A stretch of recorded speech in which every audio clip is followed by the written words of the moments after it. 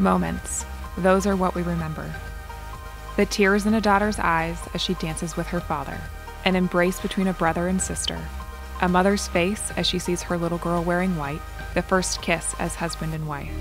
These are the moments that last, that take us back to the day when a journey began and those we love most were there to share it. Those were the moments I cherished as I looked through my family's wedding photos. And those are the images I want to capture at every wedding I photograph. Weddings are excitement, anticipation, love, all at once. My greatest joy is capturing those emotions in a way that will touch a couple's hearts years after their wedding day. This all begins with a relationship. I want to know my clients as I know my friends, to know their stories and their journeys, so I can help them show their love to the world in every photograph I take. I am honored that my clients trust me with their moments, those that are planned, those that are unplanned, and even those they never saw with their own eyes.